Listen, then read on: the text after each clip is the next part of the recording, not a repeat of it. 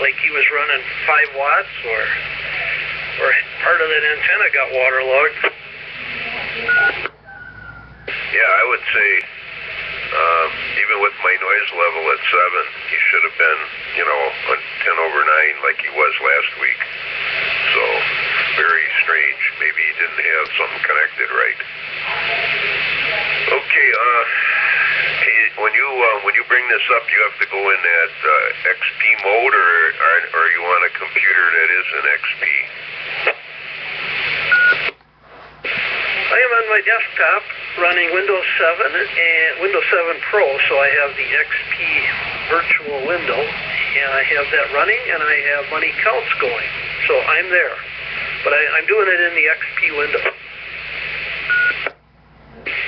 Kind of funny. My desktop is the Dell. When I do that, it comes up really fast. And I noticed they still only allocate 500 uh, um, K of memory or whatever to it. Uh, there's 500 something allocated when you look. On my laptop, exact same program, same deal. It takes forever to boot into uh, XP mode. So that, uh, and, and that's a weaker computer at the laptop. Uh, well, they're both i5s, but uh, less memory. Um, I don't know. It's real weird.